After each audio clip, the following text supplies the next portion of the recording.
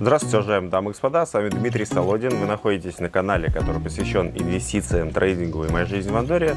И сегодня я в отпуске. У меня есть время ответить на ваши вопросы, на которые не смог ответить в других форматах. Итак, я отвечу сегодня на несколько вопросов. Первый вопрос Сергей Б. спрашивает. При долгосрочном инвестировании от 5 лет стоит ли ставить стопы на акции или просто докупать при любых ценах, не обращая внимания на текущую цену? Спасибо. Ну, во-первых, наверное, ни то, ни другое. Смотрите, э, стопы – это так, таки, так называемые стоп-ордера, если кто не знает, это специальные ордера, которые ставятся игроками, чтобы ограничить свои убытки.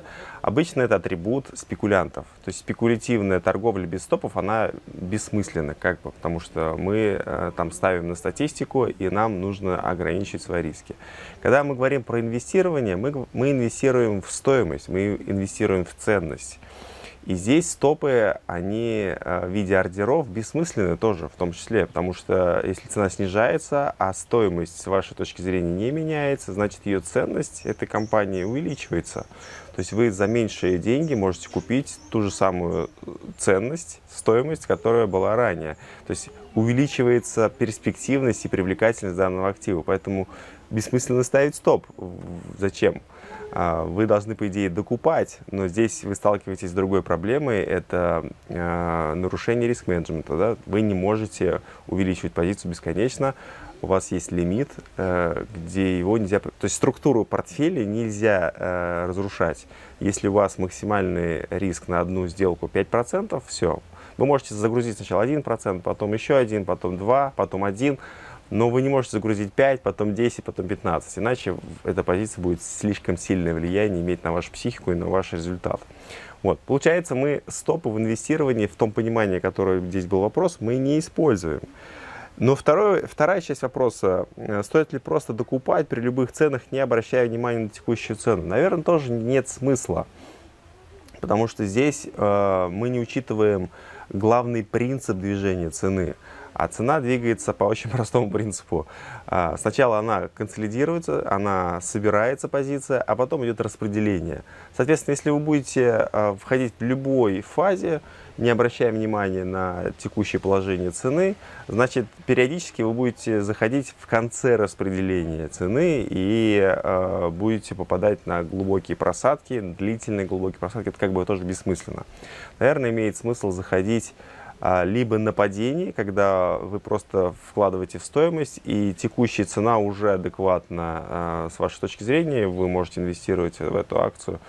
А, либо цена находится после падения или после какой-то коррекции в консолидации, загружается. Вы, вы тоже можете поучаствовать в этом аукционе, рискнуть и поставить э, на эту позицию но э, в конце э, э, распределения, наверное, входить бессмысленно.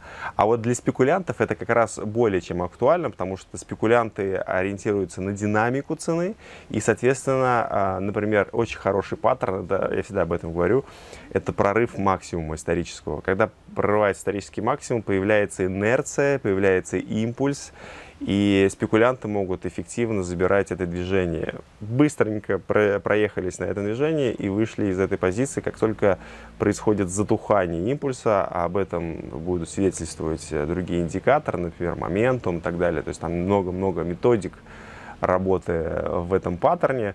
Но, тем не менее, для спекулянта это благодать, а для инвестора это риск. Потому что инвестор заходит надолго, он не ставит стопы, и если потом будет сильная коррекция, он морально не имеет права выходить из этой позиции, потому что а, его там устраивала цена, а теперь цена еще ниже находится, компания та же, ничего с ней не поменялось, он, получается, не должен из нее выходить.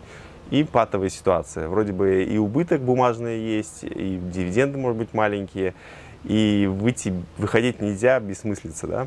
Ну и второй блок вопросов. Первый – это Михаил Кузнецов спрашивает, какие ошибки можно допустить при инвестировании в компании Healthcare – а, связанные со спецификой этой отрасли. На что обратить особое внимание, к чему компания чувствительна, а что на них совсем не влияет. Ну, главный риск – это не попасть в компанию. Учитывайте, что этот сектор высококонкурентный. Э, Там очень большая конкуренция, и э, здесь компания просто может не выдержать конкуренцию, ее выкинет с рынка. Поэтому главный принцип, наверное, здесь диверсификация. Вы можете вложить в как можно большое количество акций, либо покупать этот сектор в виде ETF, в виде какого-то диверсифицированного продукта изначально. Тогда это более, как бы, точнее, менее рискованно, чем э, вкладывать в конкретные бумаги. Это первый момент. Второй момент, вы должны понимать, что компания Healthcare постоянно большой CapEx или большие затраты. Эта компания постоянно будет вкладывать в инновации, в развитие, в research, и у них затраты очень большие. Отсюда не стоит от этих компаний ждать, э, например, высоких дивидендов. Вряд ли компания будет на них щедра, а так как э, львиную долю денег свободных она направляет в новое развитие, в новые pipelines, так, так называемые, да, то есть в, в, в новые инновации, в, в новые исследования. Это тоже имейте в виду, то есть для доходной части healthcare компании вряд ли вам подойдут, а для растущей части это должна быть высоко, быстро растущая компания с хорошими показателями. Таких тоже на самом деле не очень много, но если вы такие найдете, а, это достаточно устойчивый бизнес обычно, если у него постоянно растут Значит, э, у них все в порядке с маржинальностью, э, если постоянно растет выручка, прибыль и так далее. В общем, э, компания будет, скорее всего, и дальше генерировать прибыль, потому что там бизнес-процессы достаточно длинные циклы. Да? То есть, если компания уже работает с медицинским центром, у нас с ней будет с этим медицинским центром работать еще несколько лет, как минимум. То есть там такие длинные контракты, длинные деньги, длинные циклы. Но еще один важный момент, который нужно учитывать при инвестировании в акции из сектора healthcare – это то, что многие компании являются заложниками своих продуктов. У некоторых компаний это один или два продукта таких вот флагманов, от которых, э, собственно говоря, строится вся капитализация этой компании. И если что-то случается с этими компаниями, э, возникает очень сильное движение, может там э, вплоть до потери там, на 80-70% выручки, потому что, ну, например, что-то случилось с их продуктом, его запретили, там побочные эффекты и все. А это был главным продуктом, который составлял там 60-70% выручки. Если мы э, в компании Apple считаем э, iPhone зависимой компанией, у нее 55%, по-моему, от продажи айфонов идет в, от выручки, то у Healthcare такие э, есть компании, у которых такая зависимость от одного продукта достигает там, до 80%. И здесь все сложнее, потому что есть еще риски регулирования. Если государство наложит, э, допустим, запрет на продажу этих продуктов, то все пропало. Ваша компания будет очень сильно минусовать. А, поэтому, overall, подытоживаем да, этот вопрос.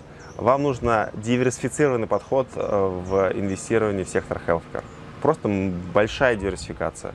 А, либо это сектор, ETF – либо это просто большое количество бумаг, где вы распыляете свой риск. Это самый главный принцип э, в этом деле. Ну и еще один вопрос э, от ТД. Дмитрий, дайте топ-3 компаний для покупки в долгую, на ваш взгляд, из данного сектора. Ну, честно, я думал долго над этим вопросом. Э, есть скорее топ-10 хороших компаний, которые можно инвестировать. Туда входит и Pfizer, туда входит и Celgene, туда входит и компания Gilead, Э, туда входит, естественно, Novartis, туда входит э, холдинг э, швейцарский, если не ошибаюсь. В общем, там много компаний. Johnson Johnson, например, тоже является компанией из данного сектора.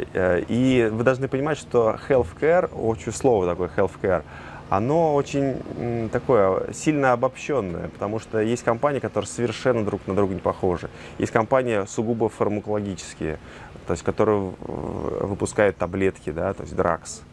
А, есть компании, которые являются биотехнологическими холдингами. Есть компании, которые занимаются э, э healthcare сервисом, да, например, э, CVS или э, WBA, аптечная сеть и так далее. То есть они занимаются, по сути, сервисными услугами. То есть там много-много... Есть компании, которые занимаются производством медицинского оборудования, сугубо на этом специализируются. У них разные циклы, разный research.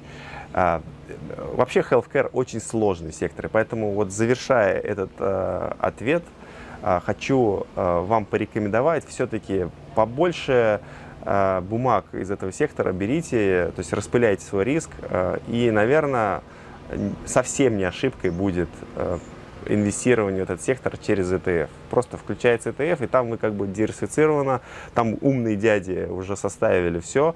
Э, то есть ETF составляется тоже диверсифицированно не просто так, не по рандомному принципу, да, э, То есть э, можно довериться в этом плане. Э, берите хороший ETF, где максимально большая капитализация и вкладывайте в этот сектор через них.